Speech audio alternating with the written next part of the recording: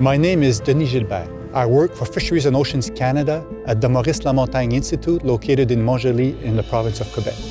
My research activities all revolve around studying ocean temperature, salinity, and dissolved oxygen in the ocean by using historical data that are collected by Argo profilers. Those profilers are automated devices that are drifting in the ocean. They provide us data that is collected between 2,000 meter depth and the surface of the ocean.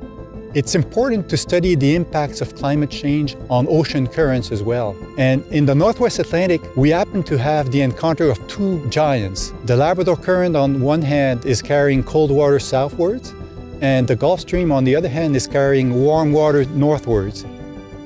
It happens that those two currents actually meet just south of the tail of the Grand Banks of Newfoundland. And in meeting there, they mix. And the amount of water that is coming from the Gulf Stream that actually ends up being against the top of the continental slope actually affects greatly the water properties in the Gulf of St. Lawrence. So the temperature, salinity, and oxygen in which the fish and invertebrates are living are influenced by ocean currents.